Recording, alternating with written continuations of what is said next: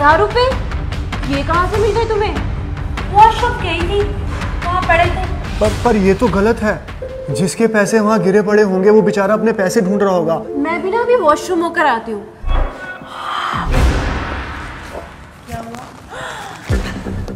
मैं भी वॉशरूम होके आता हूँ। अरे अरे अरे अरे क्या हुआ? ईमानदारी का भूत उतर गया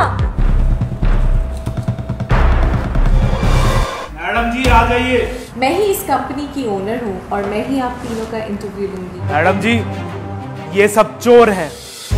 इन्होंने वॉशरूम से दो दो हज़ार रुपए चुराए हैं सिवाय इस लड़के के। सर ये किसी के पैसे गिर गए थे वॉशरूम में। बेचारा ढूंढ रहा होगा सर आप प्लीज़ उसे वापस लौटा देंगे?